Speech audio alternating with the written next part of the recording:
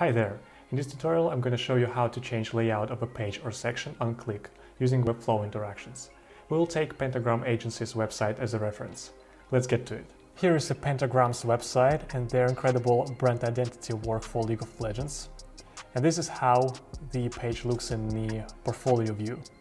Here you can see the mockups and videos in full, um, but the page can also be transformed into the detailed view, so you can read more about the project.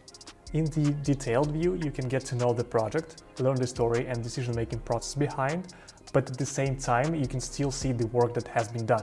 Of course, you can go back to the portfolio view, and this is what we're gonna replicate in Webflow. Here's one of my projects as an example, and let's see how it works. This is a short intro with a button to learn more about the project. Once clicked, the page turns into a detailed view. So now you can see and read the whole description and look at the mockups at the same time. And you can go back to the portfolio view, of course. And now I'm going to show you how to make it in Webflow using interactions only. I will make this project clonable, uh, so you can see how it's built.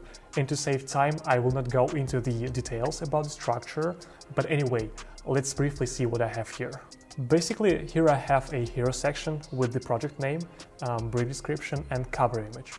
Then there's a short intro with the Learn More button, which is going to reveal the detailed description. The container of the description itself has display properties set to hidden, so we can't see it now. And finally, there's a collection list with all the project mockups. So overall, it's a pretty simple structure. And now let's make the interactions. First, we create interaction for the Learn More button. Under element trigger, we select mouse click and start a new animation. Let's call it detailed view. Here we want to make the intro text disappear, detailed description appear and the whole content container to transform to two columns. And we want to make this transition smooth. For that, we first make the entire content container opaque by setting the opacity to 0%. Then we want the intro wrapper to disappear by selecting hide show action and uh, setting the display property to none. As for the details container, we want it to appear by setting the display property to block. And after that, we need to change the layout of the entire content container to grid so that it will have two equal columns. This is standard in Webflow. Finally, we want this container to appear by setting its opacity back to 100%. Now let's see if it works. At the beginning we have everything in place, the intro text is there and the description is hidden, while the mockups are below the intro. Once we click the Learn More button, the layout changes to two columns. Uh, the description appears in the left column and the mockups go to the right one. And so now we want to make the transition back to the portfolio view. To do that, we need to add interaction to the portfolio view button, which is placed inside the details container we add mouse click interaction again and start a new animation. Let's call it portfolio view. Here we need to do pretty much the same what we've done before. First of all, we set opacity of the entire content container to zero. Then we set display property of the details container to hidden and make the intro wrapper appear by setting its display property to block. After that, we select the content container and bring its display property back to block as well. And finally, we change its opacity to 100%. Now let's see if it works.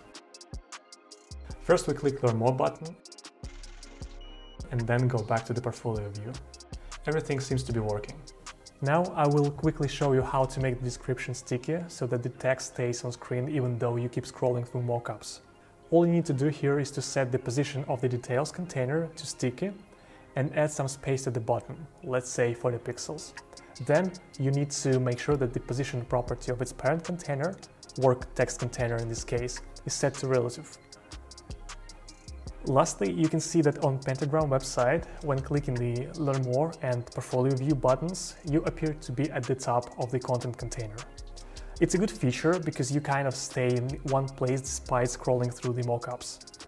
To make it work, we first need to set some ID to the content container, let's simply call it content.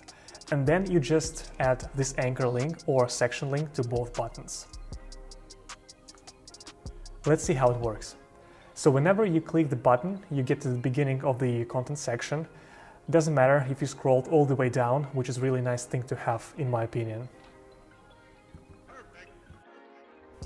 Thank you for watching this video. Click the like button if you liked it and subscribe for more tutorials. Till next time.